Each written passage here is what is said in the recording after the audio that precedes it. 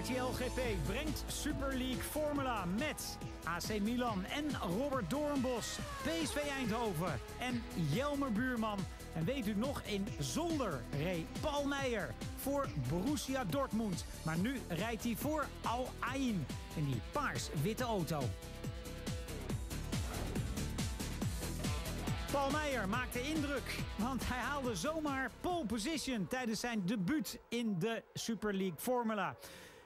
Weersomstandigheden waren niet om over naar huis te schrijven. Het zicht was slecht en we zien in de eerste bocht meteen de auto van Beijing en AC Milan in de grindbak staan. Robert Doornbos reed tegen de achterkant van de Chinese auto aan. Dan de pitstop van Paul Meijer. Gestart vanaf pole position. Dit gaat niet goed. Dit gaat niet van een leien dakje. En Paul Meijer zou heel langzaam terugvallen in deze wedstrijd. Maar toch, hij had indruk gemaakt. Zeker tijdens de kwalificatie. Uiteindelijk wordt het een overwinning voor Adriaan Valles in de auto van Liverpool voor Anderlecht. En een mooie derde plaats is er dan voor Paul Meijer. De grid wordt omgedraaid. De uitslag van de eerste race omkeren, dan heb je de grid van de tweede race. Dus zijn het Beijing en AC Milan op de eerste rij. Robert Doornbos pakt de leiding, maar die kan hij niet heel erg lang vasthouden. De groene auto, de auto van Beijing, was tijdens het weekend in Donington ook al zo snel in de regen. En ook nu weer. Snel in de regen is vaak ook Jelmer Buurman, de derde auto hier door het beeld. De auto van PSV Eindhoven. Jelmer Buurman is bezig met een opmars. Maar helaas, hij kan de groene auto van Beijing, Davide Rigon, de leider in het kampioenschap, niet meer achterhalen. Ook Tottenham Hotspur is een club te ver, maar een mooie derde plaats voor PSV Eindhoven. En dat brengt ons bij de volgende stand na drie weekenden. Beijing gaat aan de leiding, maar daarachter, en dat verschil is niet zo heel erg groot, PSV Eindhoven voor Liverpool FC. En dan gaan we door naar Estoril in Portugal. Donington, Nürburgring en Zolder kenden allemaal slecht en koud weer. In Portugal was het eindelijk een zonnetje voor de deelnemers. Een zonnetje ook voor Adrian Valles, want het is een van zijn favoriete circuits. Moet zeggen, dat kan ik wel met hem eens zijn. Hij rijdt door de straten om het kampioenschap te promoten en hoopt op veel succes hier in Portugal. It's a really nice track, probably the fastest track we've been to since the Super League started, and uh, it's a really nice area. So uh, I really enjoyed uh, doing my first podium in the World Series here. Hope I can give a win to the Liverpool. That will be fantastic. En zo is de vrachtwagen naar Estoril gekomen, langs het casino, auto starten en even rondrijden ter promotie van het evenement. Well, it was amazing uh, with all the cars on the road, uh, going at 200 the, the guys just left me uh, two meters uh, wide, and it was uh, amazing. Yeah, all the people was looking on the mirrors of the cars. I could see everybody just going out of looking out of the window, and and I think they they everybody was surprised. So. I think if they have now an idea of, of what's the noise of one of these cars, they have to, to imagine what will be 18 cars on the track. Yeah? Applaus voor Adriaan Valles, die natuurlijk ook hoopt dat er op zondag applaus is voor zijn prestaties. Alle rijders in het casino, het Casino do Estoril. Een beetje gokken, een beetje socializen. Maar er zijn natuurlijk ook serieuze zaken in dit casino. En dan heb ik het niet over geld verdienen. Nee, dan heb ik het over de loting. Want iedere wedstrijd moet je loten of je in kwalificatiegroep A of kwalificatiegroep B zit. De rijders hebben het lot dus in eigen hand. Antonio Pizzonia komt uit voor Corinthians en hij zit in groep B. Er zitten meer rijders in groep B. Ook Tucarocha met Flamengo. Maar in groep A vinden we bijvoorbeeld Frank Pereira. Hij vervangt Tocacello in de auto van AS Roma. En Tocacello rijdt voor Borussia Dortmund.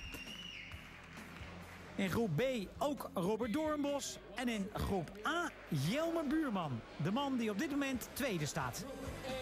Jelmer, wat zegt een zevende plek jou op dit moment? Uh, dat we heel hard moeten werken. Uh, het is, uh, ja, op zich, het weekend begon redelijk positief. In de zin dat we alle andere weekenden alleen maar problemen hadden met schakelen, motor, whatever. En nou ja, nu hadden we die problemen niet. Dus we konden wel meteen met de setup aan de slag gaan. Maar ja, we komen gewoon heel veel snelheid tekort. En uh, weet eerlijk gezegd niet waar het aan ligt. Het is niet dat er een heel groot probleem is met, uh, met de balans, zeg maar. Niet heel veel overstuur of heel veel onderstuur. Het is net een beetje overal, maar het is gewoon de overall grip, zeg maar, die voor mijn gevoel tekort komen. En dan hebben we ook nog een um, probleem eigenlijk met de, of een probleem, maar de versnellingen zijn redelijk lang, waardoor je dus niet alles benut. Normaal wil je aan het einde van het rechte stuk in zijn 6 bijna in de limiter uitkomen, want dan heb je echt iedere versnelling goed benut. En nu zijn we halverwege, of aan het einde van het rechte stuk zitten we halverwege de 6, zeg maar. Dus uh, ja, dan moeten, die moeten we even veranderen en dan zullen we wel wat tijd vinden, maar niet, uh, niet de tijd die we op dit moment missen. Ja, Paul, om uh, maar met de deur in huis te vallen. Vorige week zag dit er, of twee weken geleden, zag dit er nog geel uit. Wat is er allemaal gebeurd? Ja, snel gegaan. Uh, inderdaad, twee weken geleden nog voor Dortmund uh, gereden. Uh, en in die tussentijd hebben we een hoop overleg gehad, een hoop besprekingen gehad. En er is uiteindelijk uitgekomen dat ik de rest van het seizoen voor Alain ga rijden. En dit weekend natuurlijk ook rij. mede omdat ik gewoon hier betere toekomstplannen heb en een goed gevoel hierbij heb. Dit is voor mij denk ik de beste keuze op dit moment. dat vertaalt zich nog nu niet even in die polepositie die ik wel twee weken terug had natuurlijk. Nee, en zelfs niet een kwalificatie naar de kwartfinale. Beide auto's van hetzelfde team, Alain en PSV Eindhoven, missen de kwartfinale. Niet Frank Pereira in de auto van AS Roma. Hij strijdt tegen Corinthians en daar zit Antonio Pizzonia in. En in de voorgrond AS Roma 1.26.469 is sneller dan de rondetijd van de Corinthians-rijder Antonio Pizzonia. En die kennen we nog uit de Formule 1. Dat kennen we niet. Deze man in de auto van Olympiakos, Casper Andersen. Hij wil Enrico Toccacello verslaan in de auto van Borussia Dortmund. 1.27.653 is er voor de gele auto. De rode auto van Olympiakos stopt de klok op 1.26.373. De Grieken dus door naar de halve finale.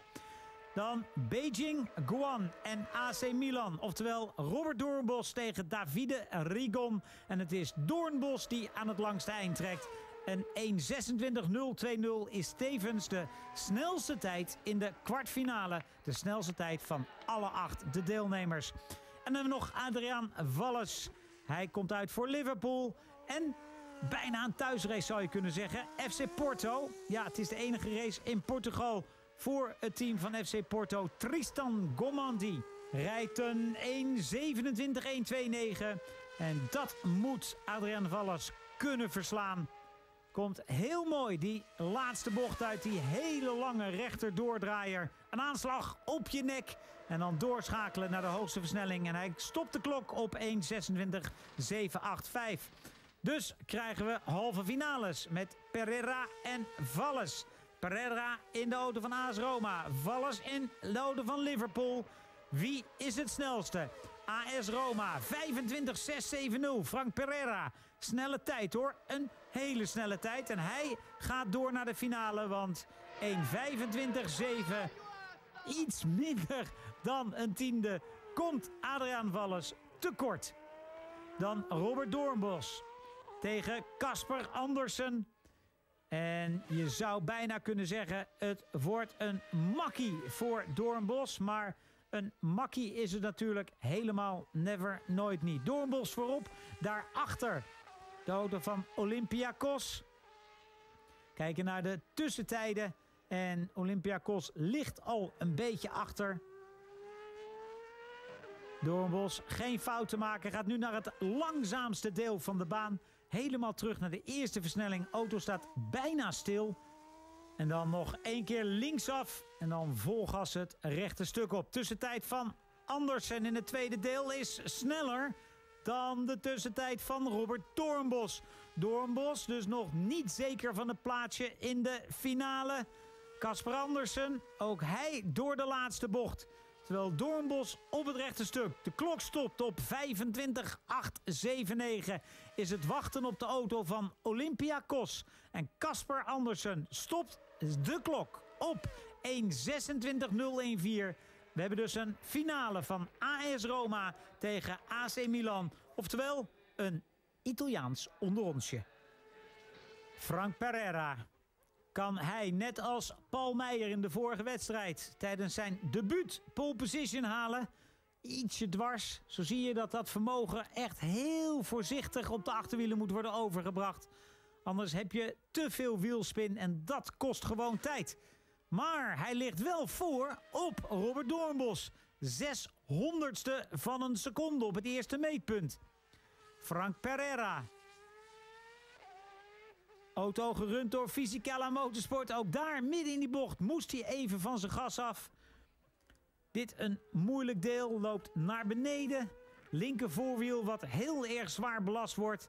En nu naar het stuk wat zo super langzaam gaat. 59,843 is de tussentijd voor de Fransman. En Robert Torenbos buiten beeld stopt de klok op. 59,764. Doornbos ligt dus iets voor. 700ste van een seconde. Het wordt spannend. Op start-finish is het over voor Pereira in 1.26.368. En wat kan Robert Doornbos daar tegenover stellen? Pakt de Nederlander pole position? Nee, hij haalt het net niet. Hij komt uiteindelijk viertiende van een seconde tekort. Dus hebben we een pole position voor AS Roma en Frank Pereira. En daar kan hij blij mee zijn. Hij mag vanaf pole position starten tijdens de eerste race. En die zien we na de break.